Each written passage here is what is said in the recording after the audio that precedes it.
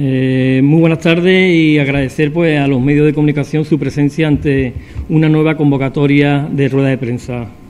Eh, me acompaña a esta rueda de prensa la delegada de turismo Nieve Huerta y el presidente del Club de Piragüismo Ciudad de Arco y de Callas Polo, eh, José María Mateo.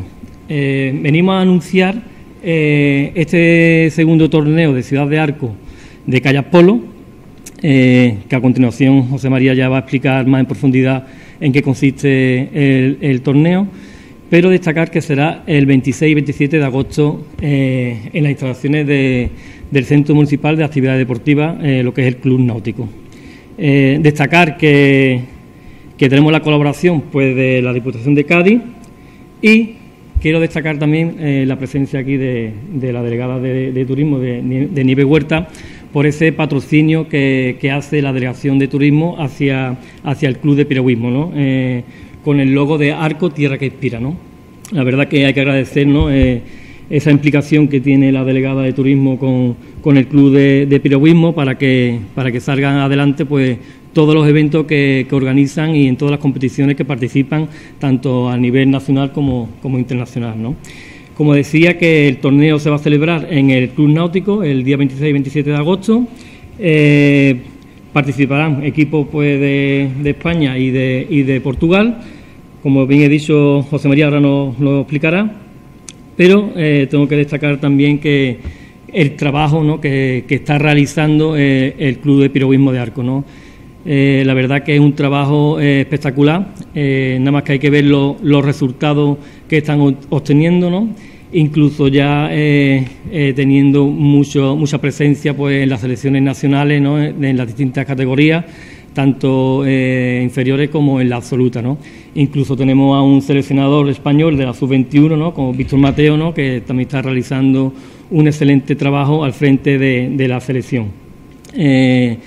Decir que, este es uno de los eventos que, trae el, club de, de Polo pero sí que es verdad que próximamente vamos a, anunciar pues, pues eh, el gran torneo que, estamos esperando que se organice en Arco de la Frontera, ¿no? en el lago de Arco, ¿no? que no es otro que el Campeonato de, Europa de, de Callapolo. ¿no?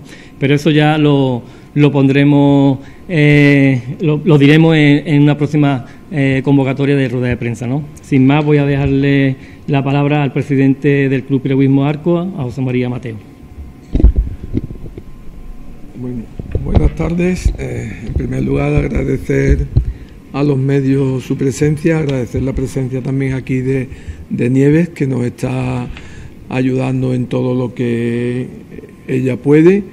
Y bueno, este fin de semana vamos a tener aquí el segundo torneo Ciudad de Arcos. Ya el año pasado tuvimos el primer torneo con la participación de algunos equipos portugueses, pero en esta ocasión se nos ha presentado se nos ha presentado una ocasión fantástica porque en esta ocasión mm, vamos a contar con la participación de las cuatro de las cuatro selecciones españolas y dos selecciones nacionales portuguesas. Eh, van a competir la selección española masculina senior, la masculina sub-21 y la femenina senior y sub-21.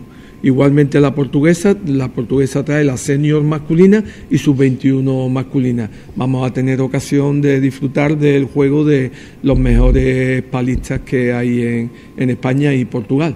Además de estos equipos, contamos con la presencia de equipos de la primera división, el Club Madrileño Ciencias, el Club Valdepeñas y dos equipos de, arcos.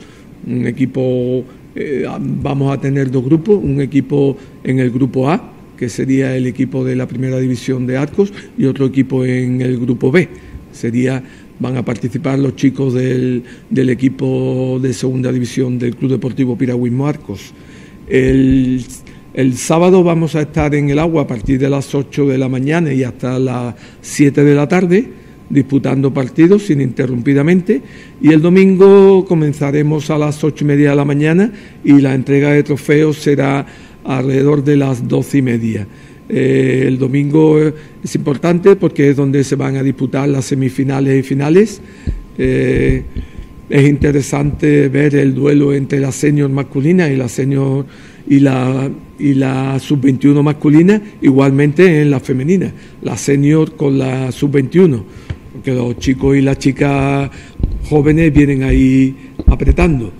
Eh, bueno, agradecer a la Delegación de Deportes, como siempre, eh, su participación, la colaboración y la cesión de las instalaciones. Y bueno, esperamos contar con público y, que todo se desarrolle con toda normalidad. Eh, vamos a traer 10 equipos en esta ocasión que llegarán el viernes y marchan el domingo. Muchas gracias. Bien, para finalizar, eh, me gustaría comentar, tras escuchar las palabras de, José María, ¿no? el, presidente del Club de Callas Polo, ¿no? pues el nivel, el nivelazo que, hay ya en, el, en esta segunda edición del torneo Ciudad de Arco, ¿no? Escuchando sus palabras eh, que van a participar las distintas selecciones a nivel nacional, pues, pues la verdad que es todo un orgullo para, para, una, para un pueblo como Arco, ¿no? Eh, que vengan ya a ese nivel de, competidores, pues la verdad que, es de destacar, ¿no?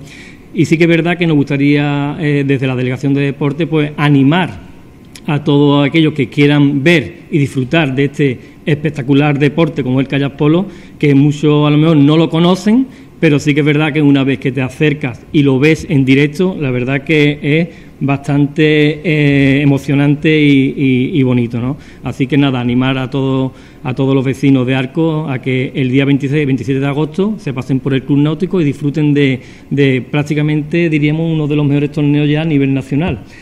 ¿Eh? Eh, pues nada, tenemos allí la puerta abierta de, del Club Náutico.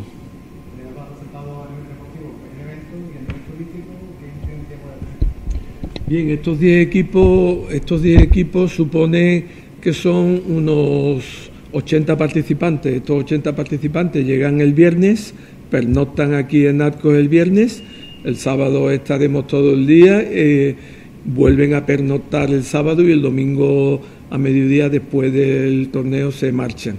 Eh, en esta ocasión solo somos 10 equipos, cuando viene la Liga Nacional que tenemos siempre competiciones de la Liga Nacional en Arco, hay la participación de unos 250 300 palistas. El Campeonato de España de Jóvenes Promesas, que Arco es sede permanente de este campeonato desde hace tres años que se viene celebrando, eh, también será el 17 de septiembre y contaremos con la participación de unos 400 palistas.